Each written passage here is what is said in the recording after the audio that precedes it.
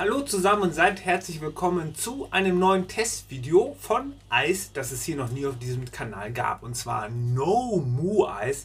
Eis ohne Mu, sprich ohne Kuh. Veganes Eis, jeder Sorte Apfel, Zimt mit gehackten Walnüssen. Auf einen Wunsch vom guten Timo schauen wir uns das jetzt hier mal an und ähm, ich wünsche euch viel Spaß dabei. Ich bin sehr gespannt.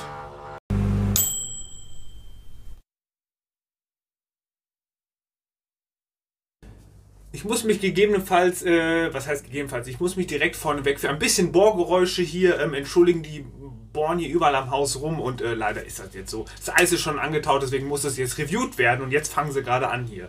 Unfassbar. Also, der gute Timo, der ist ja Patreon-Unterstützer bei mir ähm, und der wünscht sich dann regelmäßig mal Reviews und dann sage ich mir so, jo, klar, kaufe ich gerne, denn ich muss sagen, ich bin ja jetzt nicht so der Käufer von veganem Eis, wobei eigentlich schon, ich kaufe ja schon so ziemlich viele, gerade bekannte Produkte. Ähm, aber meistens sind eher so Ben Jerry's oder so. Und das hier hatte ich gar nicht auf dem Schirm, obwohl ich es schon mal probiert habe. Sprich, ähm, ich hätte es jetzt erstmal so direkt gar nicht gekauft, weil ich es, um es direkt mal vorneweg zu sagen, mit 6 Euro relativ teuer finde für so eine Art Eis. Ähm, ich mache, komme ich gleich drauf zu sprechen. Ähm, aber er sagte, kauf es doch mal, probier es, test es doch mal. Ich so, yo, bin ich los und habe es geholt. Erstmal danke Timo an dich für die Unterstützung über Patreon und ähm, danke für diesen Tipp. Es könnte sehr lecker werden und ich hatte es gar nicht mehr auf dem Schirm. Wobei ich muss auch sagen, selbst wenn ich nicht der größte vegan Eiskäufer bin, Eis kaufen ist eigentlich immer gut und so ein Fruchteis kann ja auch sehr lecker sein. Wir denken da an das Eis von Indy und Pippa aus Slowenien. Das war ja auch verdammt gut. Deswegen ich bin sehr gespannt, wie dieses Eis jetzt hier wird. Ähm, ja, wir fangen einfach mal an. Ähm, wir gucken mal, was hier draufsteht. Probier's mal mit Gemütlichkeit. Nichts könnte heimeliger sein als Apfelzimt, eingekuschelt mit den Liebsten zu genießen. Hier ist gerade keiner, äh, deswegen werde ich das gleich ähm, allein probieren, hier in meiner Butze. Dennoch ist Eile geboten. Ähm, dieses Eis geht flotter weg als Omas Apfelkuchen. Hergestellt aus etwa 1,5 Äpfeln in diesem Eis. Wir gucken uns den Becher jetzt mal zusammen an und ähm, ich bin sehr gespannt. So, da ist es, das No Mu Eis. Und ich muss sagen, ich bin sehr gespannt. Ähm, direkt vorneweg, ich mache den Deckel schon mal ab. Und das hier hatte ich auch schon mal abgezogen, damit es antauen kann. Ähm, ich fand aber diese Packen hier ganz witzig. Schnipsel Nummer zwei, ich denke mal, es sind so kleine Stories, die sie dann erzählen. No Mo's Verpacken war nicht immer so schön. Der erste Prototyp wurde schlafenden Mitbewohnern in einer Tupperdose präsentiert. Das Innere zählt. Finde ich ganz witzig. So sieht das Eis aus. Hier hängt noch ein bisschen Papier. Und man sieht auch, dass das hier wirklich eher ein Fruchtsorbet ist. Ja, Das sehen wir auch genauer, wenn wir hier auf die Zutaten schauen. Wir haben 52% Apfelpüree, wir haben Rohrzucker, Rohrzucker, Wasser, das bindet so ein bisschen, oder Inulin ist auch ein Ballaststoff, hilft auch so ein bisschen das Ganze vom Mundgefühl schöner zu machen. Wir haben Walnusskerne, 2,5%, wir haben Zitronensaft, Akazienfaser, wahrscheinlich auch so ein bisschen als zum Andicken, dicken, schätze ich mal. Habe ich so tatsächlich noch nicht gesehen. Unter Vorbehalt, wir haben Zimt drin, wir haben Verdickungsmittel, Guacamole, Johannes Brotkernmehl. Das Ganze ist maßgeblich für die Konsistenz des Eises mitverantwortlich, diese Verdickungsmittel. Ja, dass es auch so ein bisschen vom Mundgefühl angenehmer ist. Das Ganze, wie gesagt, deutlich ein Sorbet. Die haben auch andere Eissorten und äh, wir gucken einfach mal direkt auf die Webseite, dann kann ich euch die zeigen. So, wir sind jetzt hier mal auf der NoMu Webseite und äh, da könnt ihr euch natürlich alles genauer durchlesen. Da haben sie auch so eine Art jetzt ja, wo sie über sich erzählen, Verantwortung, ne? also das, meinetwegen erzählen sie auch von den Bechern, dass sie nur aus äh, pflanzlichen Produkten gemacht sind, also kein Plastik drin und so weiter, aus Maisstärke der Deckel oder irgendwie sowas, zumindest aus Maisstärke war da auch irgendwas. Ich habe das jetzt nicht alles hundertprozentig genau gelesen, ja, 100% natürlich ehrlich und 100% no mu, no mu. Jede Firma sagt ja von sich, dass sie irgendwie gut ist, von daher ja, aber de facto ist hier sicherlich einiges besser als woanders. Apfel-Zimteis haben wir hier im Test. Dann gibt es jetzt aber auch noch zum Beispiel gebrannte Mandeleis, Hallöchen mit 40 Mandelkernen. Und ich habe die Zutaten überprüft, da ist wirklich ordentlich auch was drin. Ähm, bei den Sachen ein vier Fünftel Mango und die sind ja wirklich groß. Himbeereis, 60 Himbeeren in so einem Eis. Das ist schon krass für so ein großes. Ähm, 200 schwarze Johannisbeeren. Ich glaube, wenn man hier drauf guckt, ähm, sieht man hier auch bei den Zutaten irgendwo, da kann man sich zu jedem Eis noch ein bisschen was durchlesen, was da drüber steht. Also sie haben sich schon Mühe gegeben. Hier, 50% schwarze Johannisbeere-Püree. Also da ist schon ordentlich was drin.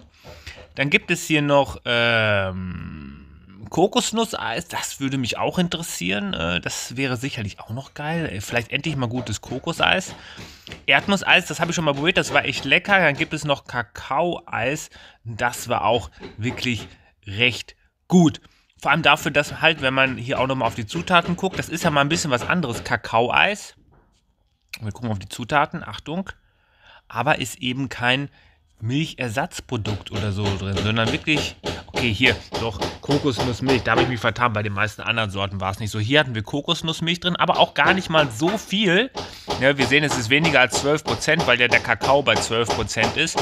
Also nicht so viel man sieht es auch hier an den Nährwerten, dass da wirklich nicht viel Kokosnussmilch drin ist und man sieht es auch am Fettgehalt. Es ist wirklich wenig, aber trotzdem hat es eine schöne Konsistenz gehabt. Ja, also ähm, wie gesagt, die haben jetzt auch nichts, was so in Richtung Milchersatz geht, wie Hafer oder Soja, ähm, sondern eher alles so Fruchteise. Ja, ähm, hier jetzt auch eins, was wirklich so, ich sag mal, recht schlank ist und wirklich deutlich durch Apfel und Zucker quasi geprägt wird und die Walnusskerne. Wir haben 107 Kalorien pro 100 Milliliter. Wir haben 500 Milliliter drin. Der Becher wiegt 340 Gramm ja, ungefähr mit Packung, also so ungefähr 340, äh, 348 mit Packung, ungefähr 340, 335 Gramm Inhalt, also auch viel Luftzuschlag und wie gesagt 6 Euro. Deswegen, ich finde den Preis schon recht happig. Es ist aber halt auch Bio, es ist vegan, von daher okay. Diese Produkte sind so teuer, wobei ich persönlich, äh, ich sage jetzt mal, für so ein Sorbet-Eis 6 Euro, das ist halt nicht wenig, ja. Aber das, das will ich jetzt gar nicht hier direkt verteufeln. Es ist Bio und äh, das kostet eben halt.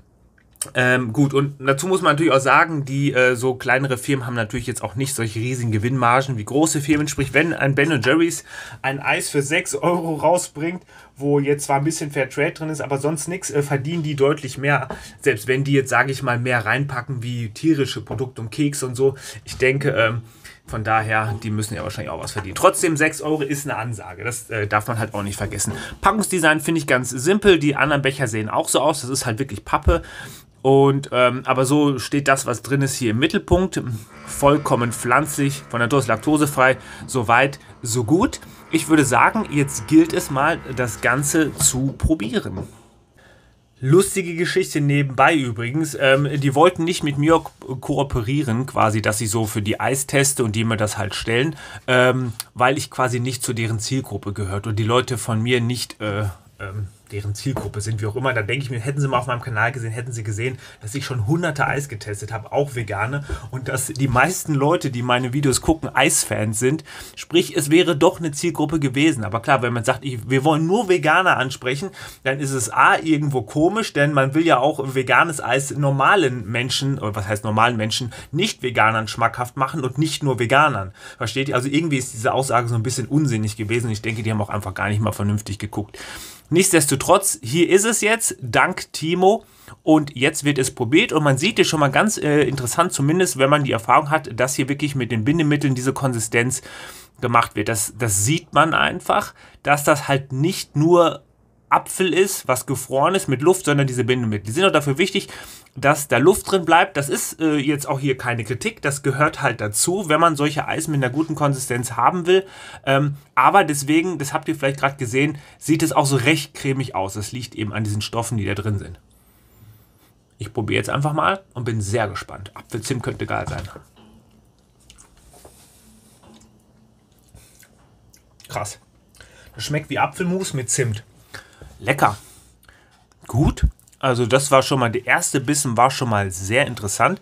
Die Konsistenz äh, ist schon halt, klar, es ist halt kein Fett drin, keine Sahne oder so. Es ist wirklich nur Frucht mit Bindemitteln. Man schmeckt das, dass es, ich sag's mal, dünner schmeckt. Aber der Schmelz ist gut. Für so ein Eis. Relativ luftig. Auch doch eine gute Zimtnote wie geil das Eis hätte werden können, aber auch, wenn man so Sahne, Sojasahne oder sowas reingemacht hätte, sondern so Apfelzimt, statt halt nur ähm, ja, das Apfelpüree. Aber auch so ist es lecker. Es schmeckt mir gut. Es ist recht süß, aber nicht zu süß. Man sieht ja auch wirklich, dass da was drin ist. Das sieht man ein Stückchen hier. Mm. Die Walnusskerne sind ja eh nur 2,5 Prozent. Die hat man hier nur so als kleine Stücke drin. Da kriegt man eher weniger von mit. Mm. Doch, das ist lecker. Schmeckt jetzt ähm, nicht säuerlich. Also der Apfel, der ist so, also ein bisschen säuerlich ist es. Aber ich denke, es gibt säuerlichere Äpfel. Doch, das hat wirklich was. So, also wie gesagt, es hat wirklich was. Und ähm, ich muss aber halt auch sagen, ich bin so ein bisschen hin und her gerissen, ob ich finde, dass das ausreicht für 6 Euro. Nicht jetzt geschmacklich, aber es ist halt nur gefrorenes Apfelmus mit, mit, mit Zimt. Ja, versteht ihr, was ich meine? Andererseits hat man hier wirklich, insofern ich das beurteilen kann, qualitativ, bio eben und von den Zutaten her wirklich viel Apfel drin, Zimt drin, Walnussstückchen, schon ein gutes Eis. Also es ist das schon wert, nur es ist halt meine persönliche Meinung, dass ähm, mir das, ähm, hm, ich fände 5 Euro schöner. Aber ich will auch nicht nur aufs Geld drauf gehen, denn ähm, vegane Produkte und gerade so, ich sag's mal, Bioprodukte, sind teuer und da ist es halt im Rahmen, von da ist es völlig in Ordnung, sich dann zu kaufen. Und was halt wichtig ist, es schmeckt auch. Es ist halt jetzt nicht so, dass ich sage, boah, das ist jetzt für mich irgendwie so wirklich so ebenbürtig, äh, geschmacklich wie so ein veganes Ben Jerry's oder ein veganes ähm, hm, Rewe Fake Vegan, was halt gerade mal irgendwie 3 Euro kostet oder 4 Euro war es, glaube ich. Ähm, die sind deutlich besser, meiner Meinung nach. Aber es ist auch ein schlechter Vergleich. Die wollen, Nomo will auch gar nicht mit denen konkurrieren. Die wollen Fruchteis machen und das machen sie sehr gut. Man muss auch sagen, dass es wirklich mal etwas ganz anderes ist, ein richtiges Apfeleis rauszubringen. Apfelzimt kenne ich so gar nicht. Allgemein kenne ich eigentlich kein Eis, äh, was mit Apfel ist, außer mal Oh My Apple Pie von Ben Jerry's, was ja leider nicht mehr gibt. Ja, aber Apfel mit drin. So ein richtiges Apfelsorbet, das ist auch mal was ganz anderes und die Idee finde ich toll. Das Eis schmeckt gut, deswegen, wenn ihr mal ein bisschen anderes Eis ausprobieren wollt oder auch sagt, ich ernähre mich sowieso vegan, ich brauche Eisalternativen, probiert das auch gerne mal aus. Ich habe das bei Dance Biomarkt gefunden, hm, soll es aber auch in manchen anderen Shops geben. Es gibt ähm, einen Shopfinder bei denen auf der Webseite, der hat tatsächlich auch funktioniert, nur bei mir hatte nicht jeder Laden genau diese Sorte und der Timo hat sich genau die gewünscht, deswegen musste ich drei Läden erst abklappern. Hm. Da könnt ihr rausfinden, wo es das No Moo Eis gibt. Webshop haben sie auch, da könnt ihr also auch mal reinschauen. Und ähm, doch, es ist schon lecker, aber es ist kein Vergleich zu so, ich sage es mal, klassischer Eiscreme oder so. Und das dann in vegan. Es ist ein Fruchtsorbet, was aber halt wirklich in dem Fall hier auch recht lecker ist. Oder was heißt ziemlich lecker. Es ist Apfel, es ist Zimt. Bisschen mehr Walnüsse hätte drin sein können, finde ich noch so vom Geschmack. Ähm, aber ansonsten ist das gut. Und ja, überraschend intensiv trifft es auf jeden Fall auch, was den Apfelgeschmack angeht. Es ist feines Eis, das Nomu Apfelzimteis. Ja, soll es gewesen sein. Gerne könnt ihr mir eure Erfahrungen mit äh, veganem Eis in die Kommentare schreiben. Vielleicht habt ihr auch schon mal Nomu probiert. Wie findet ihr dieses Eis? Würde es euch interessieren? Oder sagt ihr so, nee, da kaufe ich mir lieber veganes Ben Jerry oder so ähnlich. Ähm, schreibt es mir in die Kommentare. Ich danke Timo dafür und wünsche euch noch einen schönen Tag. Bis bald und ciao.